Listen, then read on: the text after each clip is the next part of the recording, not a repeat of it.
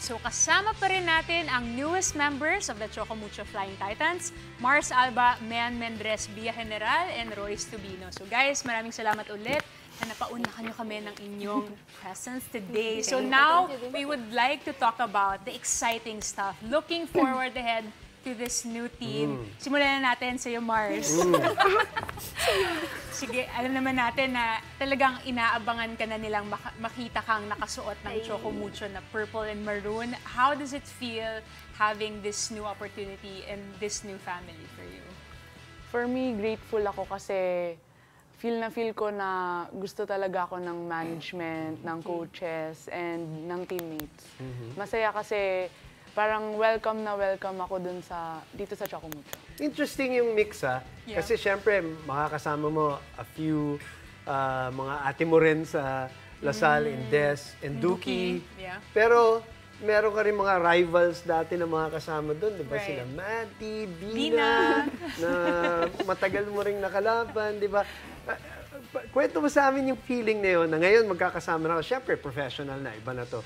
Pero, di ba, interesting yun eh. Ano yung sinasabi ng mga tao sa'yo about that?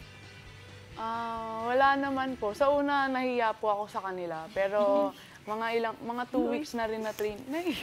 mga two weeks na training, okay naman po sila lahat. Oo, okay. That's ano, good. ano yung okay naman?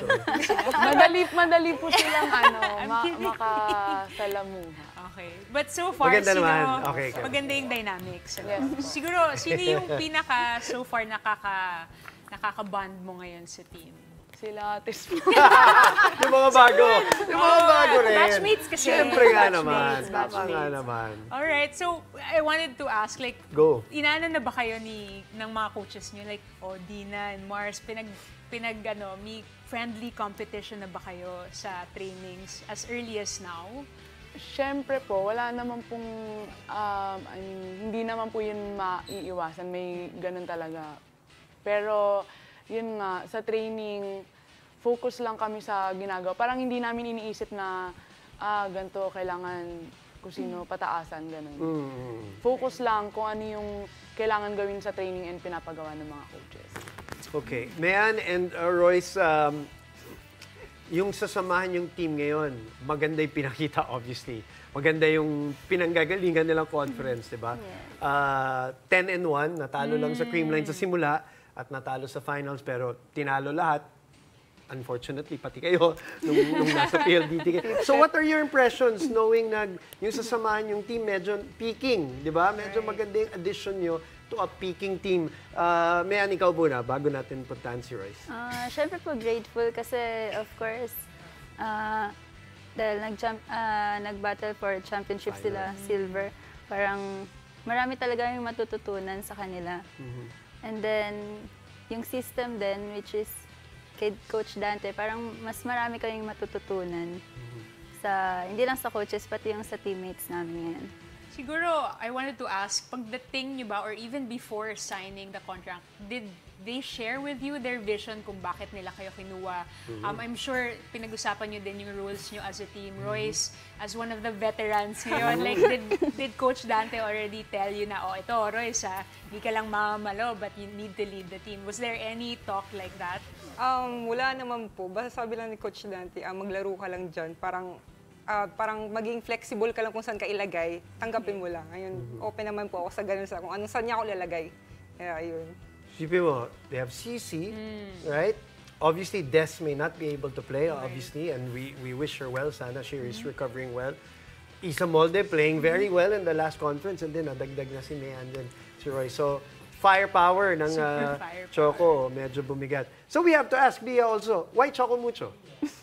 Well, yung ano, yung unang-una ko talagang naisip na sabi ko, sobrang ganda nung, nung system ni La Coach Dante. And nakita ko yun sa sa last conference, yung grabe yung improvement talaga nung team. Correct. So sabi ko, why not? Eh, nakasama ko naman sila, especially si Coach Edget. Matagal ko siyang naging Si coach Idol. sa yes sa NU po. Mm, And oo si nga, Coach tama, Dante tama. Oo nga pala. Tapos ngayon, mga kasama po pa, eh, yung last na best libero ng Yes, conference, si- si si Tang Ponce. That should be entertaining, uh, you know, from a personality standpoint. And uh, what are your thoughts about playing with her, ag- uh, side by side, Tang? Sobrang saya ko kasi si Tang ah, outside and on the court, grabe talaga yung energy niya. Sobrang grabe. And hindi lang hindi lang kami ano, um, hindi lang kami friends na nag-uusap, pero tinutulungan niya akong mak- makapasok ako agad dun sa sistema na um, inaano ni Coach Dante. So how does that feel like? I asked Mars kanina, friendly competition. Ano yung itsura nung Via General beside Tang Ponce na naglalabanan in that position? Walang lapagan ng Oo. bola. healthy competition talaga kami ni Tang kasi nagtutulungan kami. Kapag ka may tanong ako about sa ganito, sa, sa pattern ng defense, tinutulungan niya ako and sobrang bilis niya lang din talagang kausap. Kaya magaan din magaan din sa akin pa mag ano, mag-adjust. Si Tang, tinatanggihan tayo dito sa show. Tang, we're watching you. You have said no to us, ha? we're waiting for you. By the way, Mars, this should be exciting. Sisi Rondino, eh, babatuhan mo ng babatuhan. What, what are your thoughts on having somebody like that? The MVP, the reigning PVL MVP. Uh, ano yung parang nakikita mo kay Sisi bilang kalaban pa dati or bilang parang outsider ngayon na magkakampi kayo. Pero bago kayo naging magkakampi, anong impressions mo kay Sisi?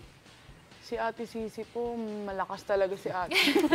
Kasi nung, hindi ko po makakalimutan nung season 81, tinanggal niya po kami sa ano eh. Championship. Nung kami po naglaban nung semis. Tama, Right, tama. right. Nalaglag po kami dahil sa kanila. Tama. Sila, sila sila nila Eya. sa kanila. Opo. Sila nila Eya, nung rookie si Eya. Yes po. Tama. So, yun pala ang memory mo, no? ano sabi niya nung sinabi mo yun? Wala, pantawa lang po si Ate Sisi lagi.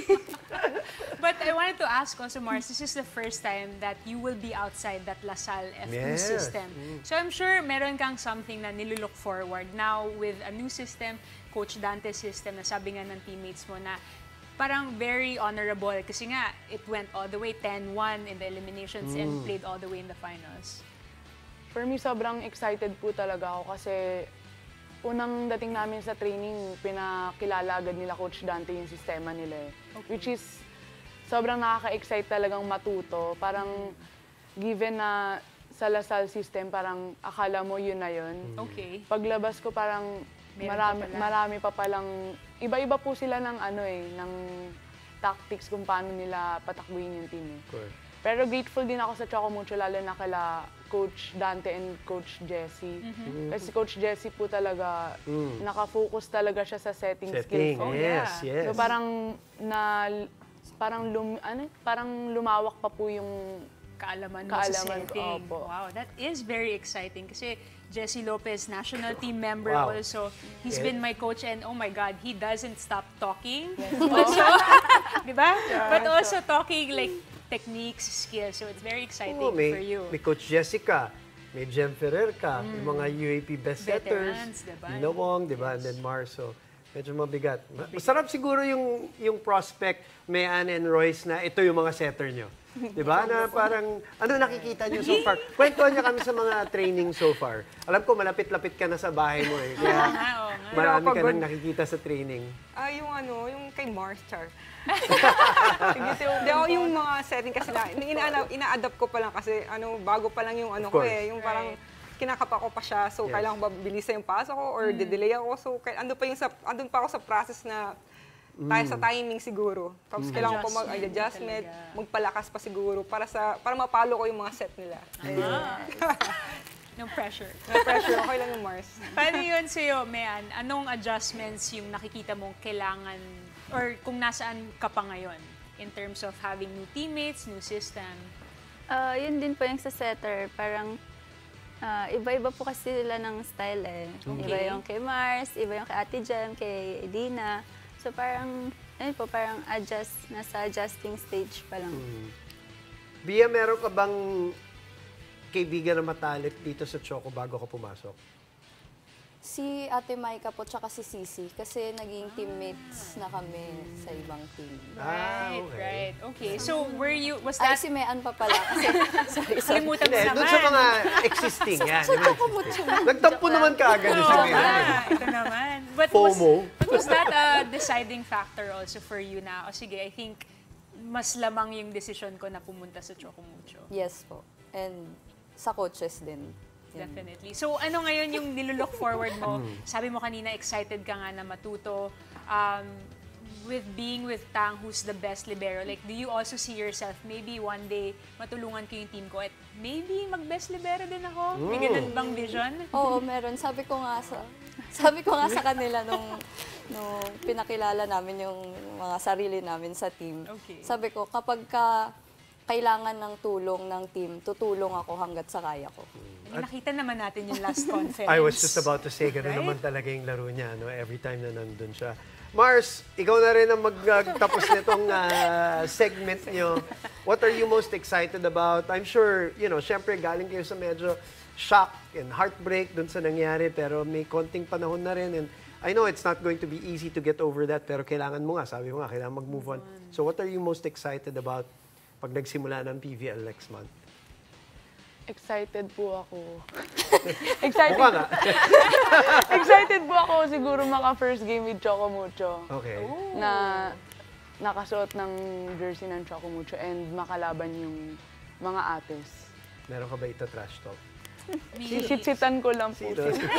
Sample daw po. Wait ka muna.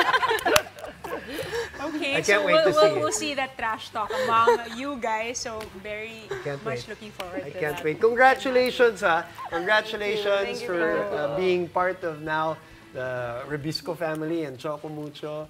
And stay healthy para magkita-kita tayo next month sa PBL. Yes. Maraming salamat. Thank you. Yeah, maraming Thank you salamat. sa time. Royce, Thank you Mayan. po. Thank you. And of course, the star, Marcel. Loko lang, loko lang, loko lang. How much do we love Pinoy sports? With all our heart, all the time. Download Pilipinas Live now.